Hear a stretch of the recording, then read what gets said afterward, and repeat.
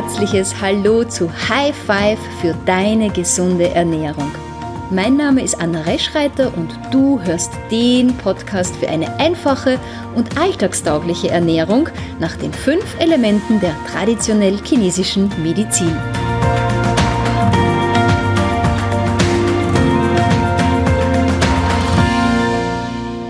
Hi, ich begrüße dich ganz herzlich zu einer neuen Podcast-Folge. So schön, dass du wieder zugeschaltet hast, dass du dich für dieses Thema Zysten, Myome und Endometriose interessierst. Und ich hoffe, dass ich dir wieder einen guten Einblick aus der traditionell chinesischen Medizin, aus der TCM-Ernährung geben kann und dass du wieder ganz, ganz viele Tipps für dich persönlich mitnehmen kannst.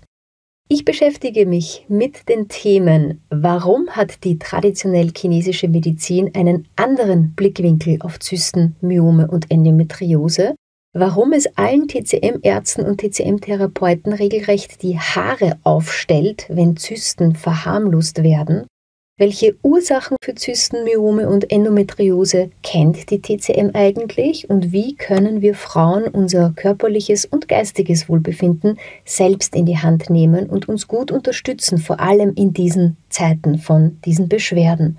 Das heißt konkret, welche Lebensmittel, Kräuter und Gewürze können uns bei Zysten, bei Myomen und bei Endometriose gute Begleiter sein und welche weiteren Maßnahmen und Tipps hat die TCM denn so auf Lager? Also das alles wirst du heute in der Podcast-Folge erfahren. Und wenn du heute auch eingeschalten hast, weil ich dich bereits letzte Woche so ein bisschen neugierig gemacht habe, woran denn mein Team und ich die letzten Wochen arbeiten, dann kann ich dir heute so die ersten Infos verraten. Wir haben ja die Grundlagen und Basics der TCM in meiner Facebook-Gruppe seit zwei Wochen nun Tag für Tag von Montag bis Freitag in so kurzen, knackigen, informativen Videos abgedreht.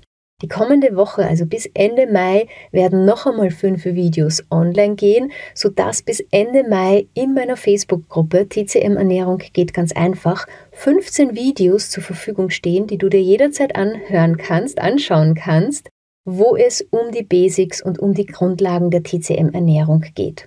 Und diese Videos sind wirklich super gut angekommen, aber ich habe wirklich viele Nachrichten bekommen, dass einige von euch oder vielleicht auch du gar nicht mehr auf Facebook bist. Also viele gar nicht mehr auf Facebook sind. Und deshalb, also wirklich so Trommelwirbel, Trommelwirbel, Trommelwirbel, eine erste kleine Ankündigung. Noch im Juni erwartet dich nicht nur ein richtig umfangreiches Format rund um die Basics und Grundlagen der TCM hier am Podcast. Nein, auch auf allen anderen Kanälen, also auf YouTube, auf Instagram mit IGTV, am Blog und auf Facebook. Das bedeutet, ab Juni wird es wirklich niemanden mehr geben, der irgendetwas versäumen wird. Und worauf ich wirklich super stolz bin, ist, dass wir gerade noch an etwas ganz Besonderem arbeiten, dass das bisher umfangreichste Geschenk an dich sein wird. Das genaue Datum steht noch nicht hundertprozentig fest, also wann dieses neue Format on air geht und wann das umfangreichste Geschenk ever für dich auch zum kostenlosen Download bereitstehen wird. Aber was auf jeden Fall fix ist, es wird in den ersten Tagen im Juni beginnen und ich glaube, ich kann dir das genaue Stichdatum, ja, also nächste Woche auf jeden Fall fix mitteilen. Das heißt, es zahlt sich wie immer aus, dran zu bleiben und ja, du wirst bald mehr erfahren. Du kannst dich auf jeden Fall voll drauf freuen. Ich freue mich auf jeden Fall extremst, vor allem wenn ich dir dann nächste Woche mehr dazu erzählen kann.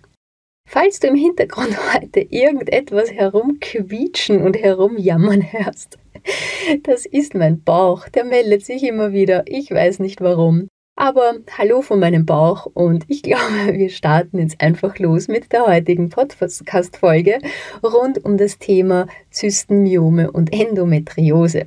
Weil diese gehören aus Sicht der TCM zu den sogenannten Verhärtungen und Massen in unserem Körper. Diese sammeln und stauen sich im Körper wirklich regelrecht an. Und alles in deinem Körper sollte sich ja im besten Fall in einem freien Fluss bewegen und sich wirklich so ungehindert bewegen können. Dein Blut soll ungehindert durch deine Adern und Arterien fließen können. Deine Säfte, deine kostbaren Körpersäfte sollen jede Stelle deines Körpers frei und ungehindert erreichen, nähern und schmieren können. Das bedeutet, Säfte sollen deine Gelenke erreichen, deine Muskeln und Sehnen versorgen, deine Haut, deine Haare und deine Nägel nähern. Und deine Lebensenergie Qi soll ebenfalls in einem freien Fluss sein. Einerseits, um sich nirgendwo in deinem Körper zu stauen, andererseits, um den Fluss von Blut und Säften regulieren zu können. Du siehst also, es hängt schon wieder alles miteinander zusammen und es geht hier um Bewegung und vor allem um eine freie, uneingeschränkte Bewegung von Energien, von Säften in deinem Körper. Denn kommt es zu Stagnation des Qi-Flusses, dann bewegen sich deine kostbaren Körperflüssigkeiten nicht mehr ungehindert. Was kann dann passieren? Richtig, es kann sich etwas in deinem Körper beginnen anzusammeln. Wir nennen das in der TCM Verhärtungen und Massen, die sich beginnen anzusammeln. Heute möchte ich dir auf jeden Fall etwas über die Zysten aus Sicht der TCM erzählen und ich glaube oder ich befürchte unter Anführungszeichen, dass wir aus dieser Podcast-Folge zwei Podcast-Folgen werden machen müssen, dass es heute wirklich im Speziellen um die Zysten geht und dann beim, in der nächsten Woche um Myome und Endometriose, weil wie ich jetzt schon die, das Skriptum geschrieben habe, meine Notizen geschrieben habe für diese Podcast-Folge, ist mir einfach so vieles eingefallen, was ich dir unbedingt zu Zysten mitteilen möchte. Ist mir so vieles eingefallen und ich habe mir so vieles aufgeschrieben, was ich dir zu Myome und zu Endometriose mitteilen möchte, dass es, glaube ich, für eine Podcast-Folge wirklich den Rahmen sprengen wird. Aber schauen wir mal, wie weit ich heute komme. Du wirst es auf jeden Fall am Ende dann sehen, ob wir daraus zwei Folgen machen oder doch nur eine. Also, lass uns keine Zeit verlieren, starten wir los einmal mit den Zysten aus Sicht der TCM. Also im Fall von Zysten sind es Massen, die sich durch Einfluss von Kälte beginnen zu verfestigen im Körper. Noch genauer gesagt, Qi-Mangel, also müde Energie im Körper und Kälte, aber auch Nässe, Kälte in der Holzenergie, also in der Leber und der Gallenblasenenergie, aber vor allem in der Leber manifestieren sich und es kann zu Zysten kommen. Wie kann es zu dieser Kälte kommen? Meist durch eine falsche Ernährung. Wird durch eine falsche Ernährung und durch zu viel Kaltes, zu viel Süßes, zu viele Milchprodukte, zu häufige Brotmahlzeiten und zu viele Fertigprodukte die Verdauung und die Resorption belastet, dann wird auch weniger Qi, weniger Energie und weniger Wärme produziert. Deine Mitte, also deine Verdauung, bleibt kalt und wird müde und müde und müder und müder. Dein Nahrungsbrei bleibt länger in deiner müden, kalten, in deinem müden, kalten Verdauungstrakt liegen, beginnt zu gären und ein Blähbauch ist vorprogrammiert. Nässe, Schleim und Schlacken entstehen oder können entstehen und diese Nässe lässt dein Qi stagnieren. Und nun weißt du ja auch, dass das der Beginn von Zysten sein kann. Qi-Stagnation, eine kalte und müde Mitte, Blut und kostbare Körpersäfte bewegen sich nicht mehr im freien Fluss in deinem Körper und stagnieren ebenfalls. Es bilden sich Massen und Verhärtungen durch die Kälte in deinem Körper, durch diese Energielosigkeit und Müdigkeit in deinem Körper und zack, wird die erste Zyste in Brust oder in Unterleib diagnostiziert. Aber bitte keine Sorge, die traditionell chinesische Medizin und die TCM-Ernährung können dich wirklich dabei wirkungsvoll unterstützen. Und Zysten sind ja zum Glück in den allermeisten Fällen gutartiges Gewebe, das sich verfestigt hat. Mich verwundert es aber trotzdem jeden Tag aufs Neue, wenn ich von Frauen höre, dass Zysten sogar von Ärztinnen und von Ärzten verharmlost werden, weil es ja eh nur eine Zyste ist. Wenn wir uns Zysten mit den Augen der TCM nämlich anschauen, so wissen wir, dass alles, was sich beginnt im Körper zu verfestigen, eine Vorstufe von Krebs sein kann. Und an dieser Stelle möchte ich keine Angst schüren, sondern im Gegenteil aufrütteln und motivieren, Zysten ernst zu nehmen. Nimm deine körperliche und geistige Gesundheit selbst in die Hand. Tu was dagegen. Du kannst dich bereits mit den einfachsten Mitteln selbst unterstützen. Also warte nicht so lange. Das ist wirklich so mein Herzenswunsch an dich. Was vielleicht im Vorfeld auch noch interessant zu wissen ist, was die Stelle deiner Zyste in der Brust für eine Bedeutung haben kann. Für westliche Mediziner ist die Stelle einer Zyste in der Brust eigentlich egal, aber naturheilkundliche Ärzte und TCM-Ärzte wissen Folgendes genau. Also die meisten Zysten, die befinden sich im oberen äußeren Quadranten der Brust, was auf Qi-Mangel, Qi-Stagnation oder nässe Kälte im Holzelement hindeutet. Leber oder Gallenblase. Meist Leberenergie, die nicht im Gleichgewicht ist. Ist eine Zyste im inneren, unteren Quadranten, so deutet es darauf hin, dass das Wasserelement und im Speziellen die Nierenenergie im Ungleichgewicht sein kann. Und wenn sich eine Zyste unter der Brustwarze befindet, dann sollte auf das Erdeelement geachtet werden, denn hier verläuft der Magenmeridian. Näheres dazu erfährst du am besten wirklich in einem persönlichen Gespräch mit deinem TCM-Arzt oder mit deiner TCM-Therapeutin. Bitte lass dich wirklich persönlich beraten, denn nur so kann ganz genau auf deine Bedürfnisse, auf individuelle Ursachen von Zysten und auf maßgeschneiderte Behandlungsmaßnahmen eingegangen werden. Das Wichtigste ist, deinen Körper, vor allem deine Verdauung zu wärmen, wenn es um Zysten geht. Dein Qi, also deine Lebensenergie anzuregen um deine Verdauung und Resorption zu stärken. Das sind eigentlich so die wichtigsten Maßnahmen. Und ich bin normalerweise, und du kennst mich mittlerweile bestimmt schon etwas länger, und wenn nicht, dann kann ich es dir hier versprechen, ich bin normalerweise wirklich keine strenge Ernährungsberaterin, die mit erhobenem Zeigefinger auf die Verbotsliste verweist. Aber bei Zysten ist der Verzicht leider wichtig. Deshalb kann ich dir wirklich nur ans Herz legen, reduziere Folgendes stark oder verzichte zumindest darauf die nächsten drei Monate. Das sind vor allem thermisch kalte und ungekochte Speisen und Getränke, Salate und Rohkost, Südfrüchte, Saures wie Zitrusfrüchte, Joghurt, Früchtetees, Zucker und Süßigkeiten, Milchprodukte wie Milch, Joghurt, Topfen und Käse, Sojaprodukte, Eis, grüner Tee, schwarzer Tee, Kaffee, eiskalte Getränke, Mineralwasser, Weißwein, Sekt und Bier. Warum solltest du darauf verzichten oder warum solltest du diese Nahrungsmittel so weit wie möglich ganz stark reduzieren, weil sie zusätzlich diese Kälte in deinem Körper fördern. Das sind alles thermisch kalte, thermisch eiskalte Lebensmittel, und diese solltest du von deiner Ernährung am besten streichen für die nächsten drei Monate oder zumindest für diese Zeit, wo du wieder die nächste Untersuchung hast und schaust, ob sich die Zyste zurückgebildet hat oder sich komplett aufgelöst hat. Und vor allem, du musst dir von der Energiebewegung auch eines vorstellen, Saures, wie zum Beispiel Zitrusfrüchte, Joghurt und äh, Früchtetee, sind zusammenziehend. Sauer ist immer zusammenziehend. Und die Ursache für Zysten, weißt du ja jetzt, ist die Kälte bzw. ein Qi-Mangel oder vielleicht sogar auch Qi-Stagnation in gewisser Art und Weise. Und Saures ist auch immer thermisch kalt. Und wir wollen ja das Qi bewegen, wir wollen die Energie bewegen, wir wollen auch diese Zysten vielleicht auch zerstreuen, wir wollen deine Mitte, deine Nieren, deinen mittleren Erwärmer, deine Verdauung wärmen. Und all diese kalten, thermisch kalten und sauren Lebensmittel fördern aber wiederum die Kälte und die Energie, ja, die Müdigkeit deiner Energie. Die TCM kennt eine Kur mit Fenchelsamen, die bei Zysten ungemein unterstützend wirken kann. Also jetzt vorweg, abgesehen davon, dass ich dir sowieso empfehle, als erste Maßnahme bei Zysten deinen Arzt oder deinen TCM-Arzt bzw. deine TCM-Ärztin aufzusuchen oder zu einem TCM-Therapeuten oder einer TCM-Therapeutin zu gehen, möchte ich dir natürlich Tipps aus der TCM, aus der traditionell chinesischen Medizin und aus der TCM-Diätetik vorstellen.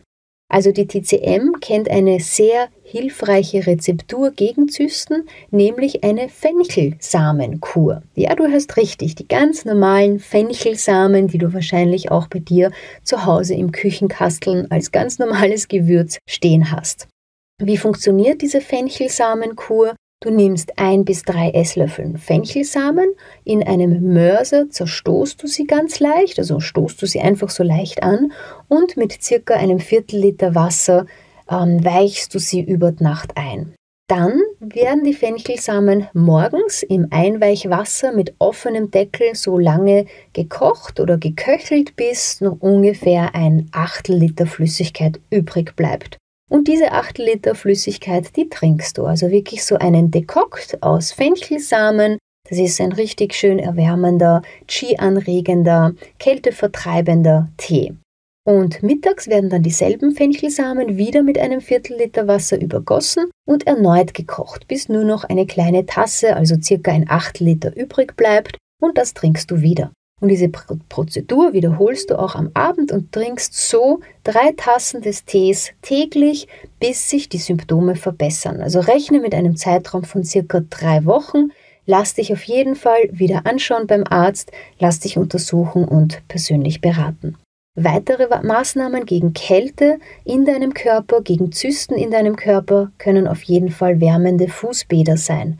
Oder Moxa kann dir auch unglaublich helfen, weil Moxa durch das Moxa-Kraut einfach direkte Wärme in deinen Körper leitet. Und die Therapeuten setzen die Moxa-Zigarren oder die Moxa-Boxen genau dorthin auf die Meridiane, wo einfach Wärme hineingeleitet werden muss.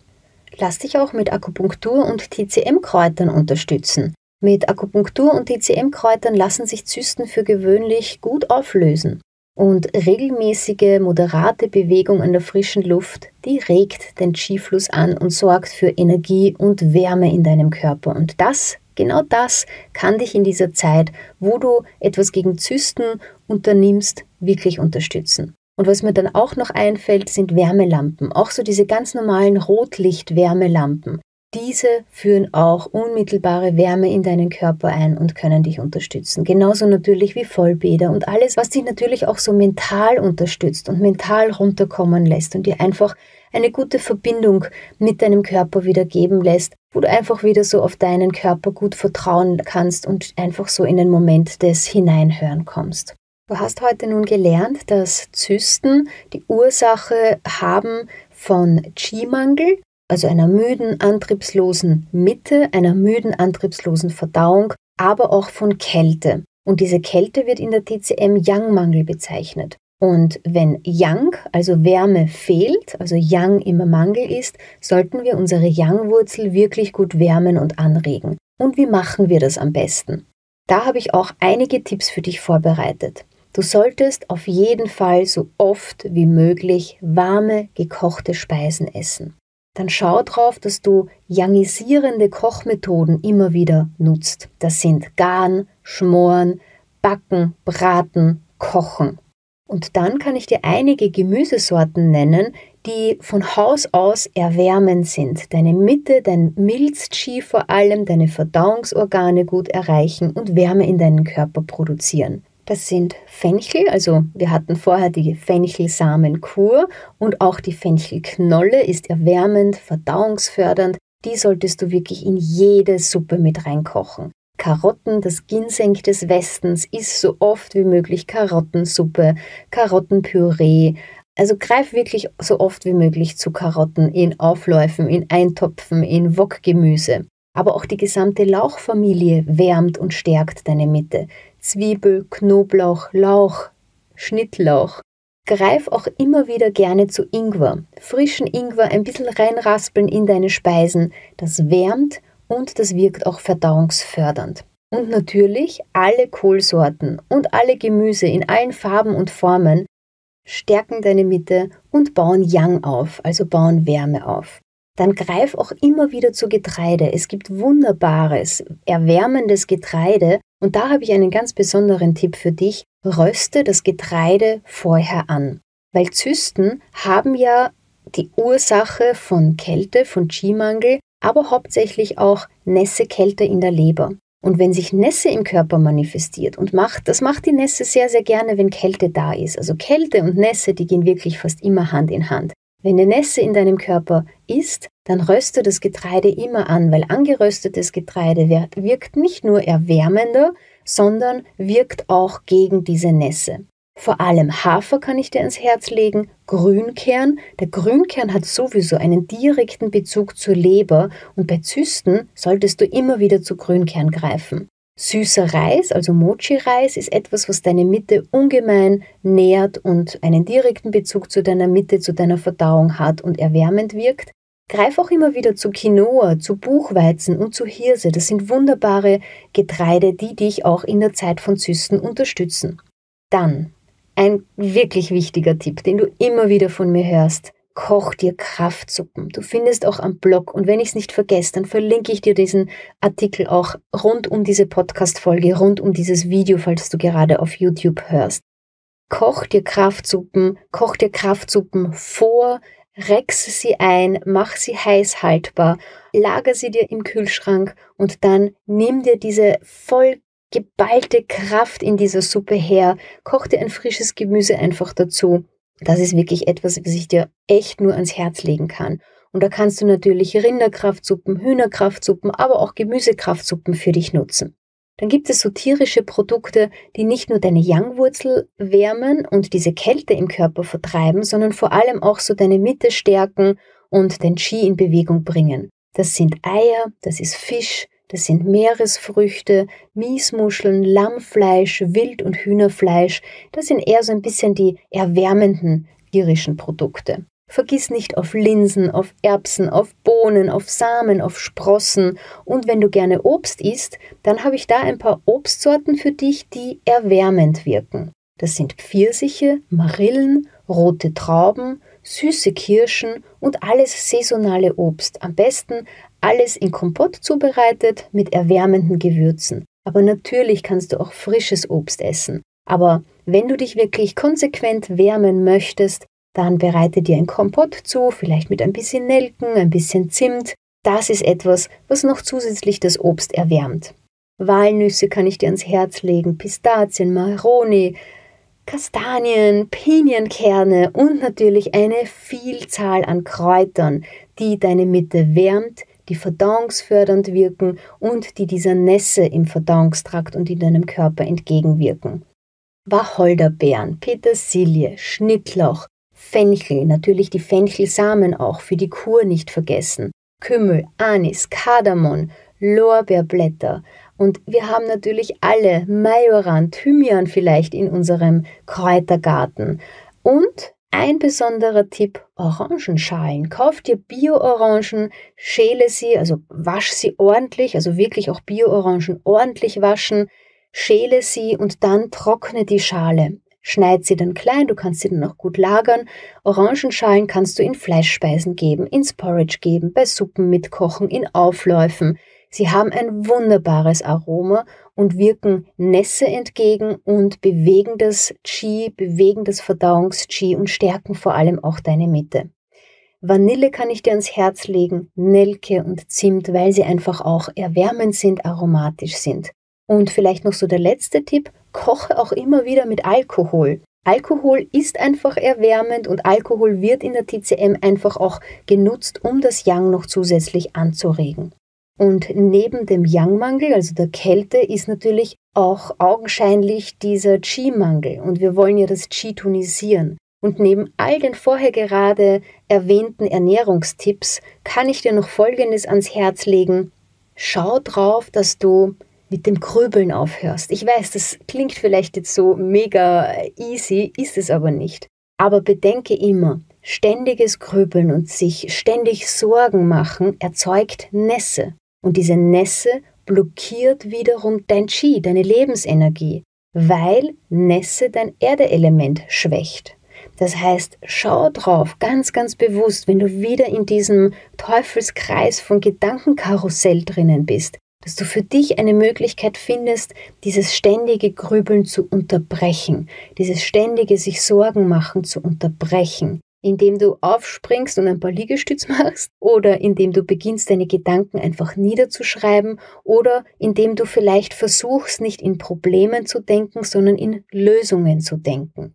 Dann natürlich ist alles, was ich dir vorher genannt habe, an Süßigkeiten, an Milchprodukten, zu viel Brotmahlzeiten, zu viele ungekochte, kalte Mahlzeiten, zu viele Bananen, zu viele Südfrüchte oder Fertigprodukte, das sind alles Essgewohnheiten, die den freien Fluss und die Produktion von Qi in deinem Körper eindämmen. Und was auch deine Qi, vor allem so dein Verdauungs-Qi, massiv schwächen kann, ist, wenn du aufs Frühstück verzichtest. Und da weiß ich schon, viele, die sich jetzt den Podcast anhören, werden sich vielleicht denken, aber ich kann in der Früh nichts frühstücken. Und mein Gegenargument ist immer, ich weiß, aber so wie du dir das Nicht-Frühstücken angewöhnt hast, kannst du dir auch wieder das Frühstücken angewöhnen. Und deshalb kann ich es dir wirklich nur ans Herz legen. Eine sehr unregelmäßige Ernährung, zu viel Mikrowelle, zu viel Tiefkühlkost, das schwächt deine Mitte, das schwächt deine Verdauung, das fördert Nässe, das fördert Energielosigkeit und auch das kann ja zu Zysten führen oder Zysten begünstigen in deinem Körper. Aber auch zum Beispiel Darmflora-Veränderungen durch Medikamente zum Beispiel oder einfach zu wenig Bewegung, zu wenig Sport ist auch etwas, was zu Qi-Mangel führen kann. So, und jetzt sind wir gerade an diesem Punkt.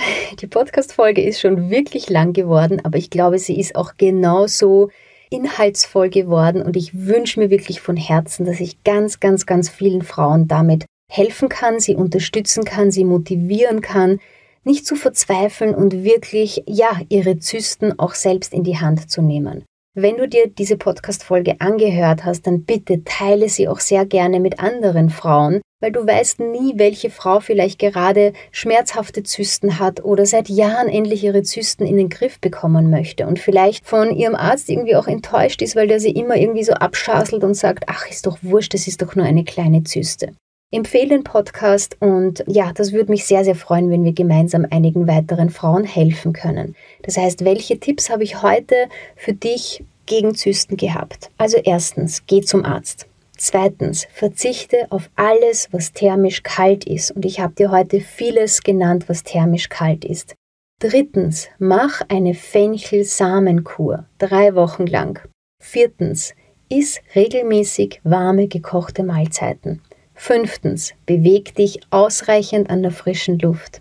Sechstens, achte auf eine ausgewogene Work-Life-Balance. Und siebtens, löst dich so schnell wie möglich von ständigen Grübeln und von ständigen Sorgen machen.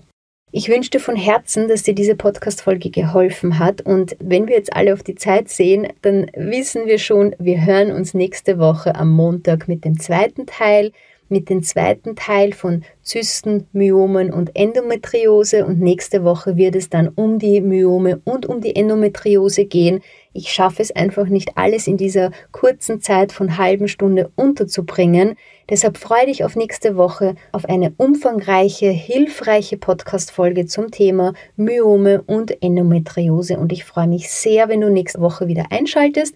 Dann werde ich auf jeden Fall auch dir das Datum nennen können, wann wir losstarten mit einem super Special auf meinem Podcast, auf YouTube, auf Instagram, IGTV, auf Facebook mit einem ja, großen Schwerpunktthema TCM Grundlagen und Basics. Und dann werde ich dir auch nächste Woche verraten können, ab welchem Tag du dir ein super, super umfangreiches Geschenk kostenlos downloaden kannst.